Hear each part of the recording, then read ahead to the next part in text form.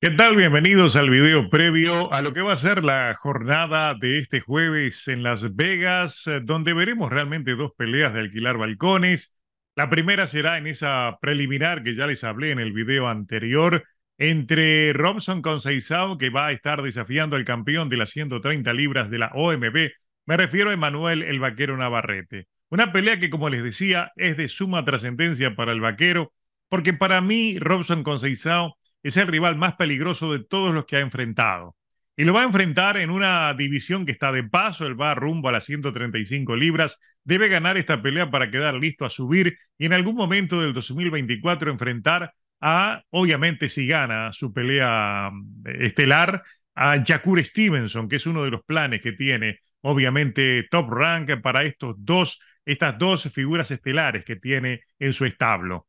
Esa es la pelea eh, preliminar, que repito, se puede robar el show, como lo decía en el video anterior. Pero en la pelea de fondo vamos a ver a un Shakur Stevenson que muchos han evitado, debía enfrentar a Basil Lomachenko y no lo, no lo quiso enfrentar, eh, renunció a esa pelea, una pelea obligatoria por un título vacante. Debería haber enfrentado al Pitbull Cruz, tampoco quiso enfrentarlo debería haber enfrentado a el Camarón Cepeda, pero ya tenía un compromiso, no pudo hacerlo. Y obviamente terminaron en el sexto clasificado, que era la Granada de los Santos, eh, eh, de los Santos, Edwin eh, de los Santos, el dominicano, que es un hombre sumamente peligroso, que es un rival de riesgo y que no llega como favorito, llega desprovisto de esa presión de cargar el favoritismo en una pelea donde va a haber un título en juego y el gran favorito, ahí vean ustedes las apuestas, que es Shakur Stevenson, va eh, por ser campeón en una tercera división. Un hombre sumamente joven llamado a grandes cosas, a transformarse en la gran referencia del boxeo mundial, pero todavía no ha llegado.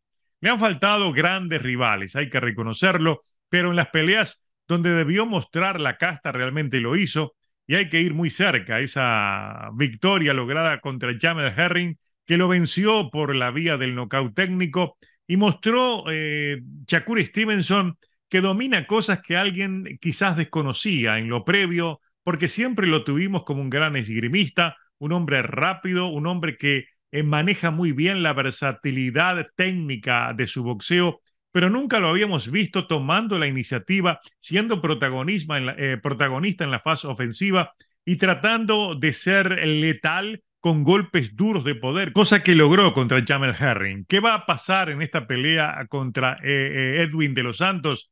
Hay muchas preguntas imposibles de responder y es el tipo de actitud que tendrá al comienzo de la pelea.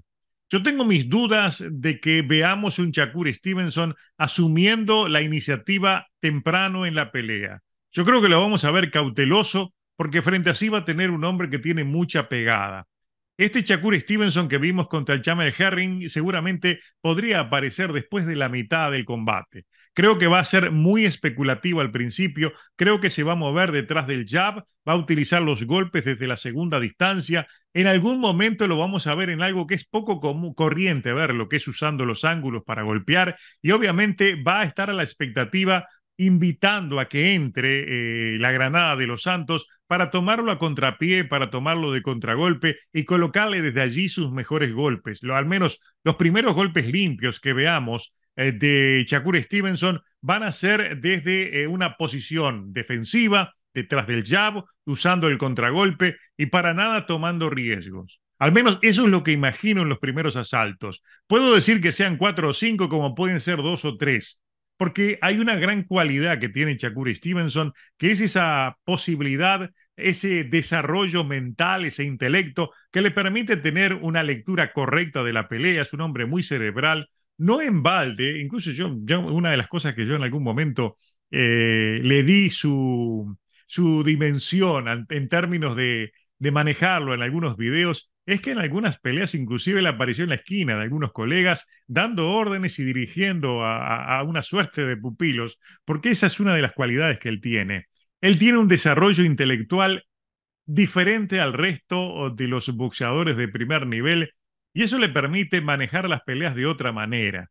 Es un hombre disciplinado que tiene un control absoluto de su boxeo y que además tiene una lectura correcta del boxeo de su rival. Y en este caso entonces, él va a manejar los tiempos, eh, sus propios tiempos, y va a manejar los tiempos de Edwin de los Santos. ¿Cómo lo va a hacer? Esperándolo, viendo cuál es eh, su táctica, cuál es su estrategia, y a partir de eso va a ajustar y va a crear los propios caminos para no tomar riesgos, pero poder llegar a buscar el knockout. Él está en una etapa en que ha mostrado crecimiento en el poder de la pegada y yo no tengo duda de que va a haber un momento de la pelea de que va a buscar el knockout.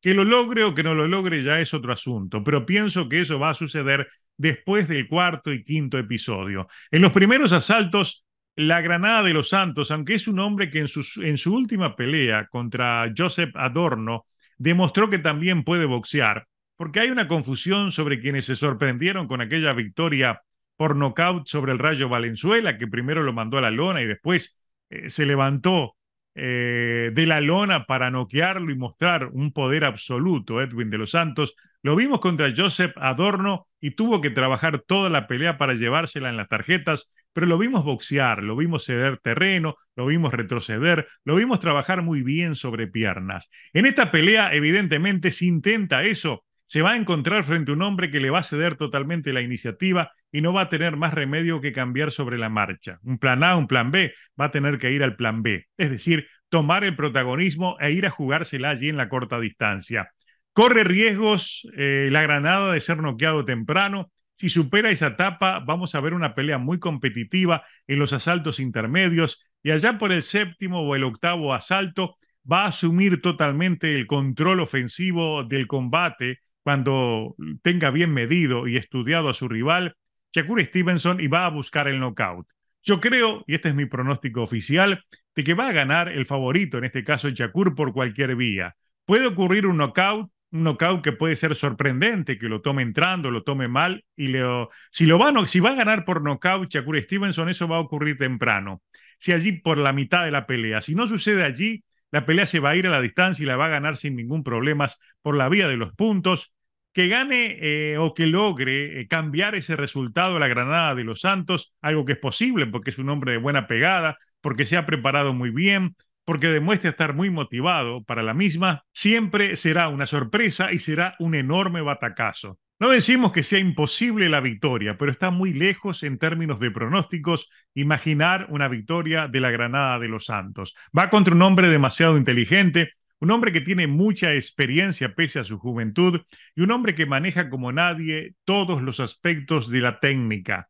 Es un hombre muy cerebral, muy inteligente, Shakur Stevenson, y que tiene una personalidad blindada. Nunca se ve bajo presión, nunca se le ve nervioso y tiene herramientas que es donde supera la Granada de los Santos. Un hombre que tiene golpes básicos que son muy peligrosos, pero no le veo alternativas no le veo arsenal suficiente en caso de que tenga que ir modificando durante la pelea. Ante un hombre que sí lo tiene, me refiero a Shakur Stevenson. Una pelea entonces que debería ganar Shakur Stevenson, si hay un knockout va a ser temprano, si la pelea avanza se va a ir a la distancia y va a ganar el estadounidense.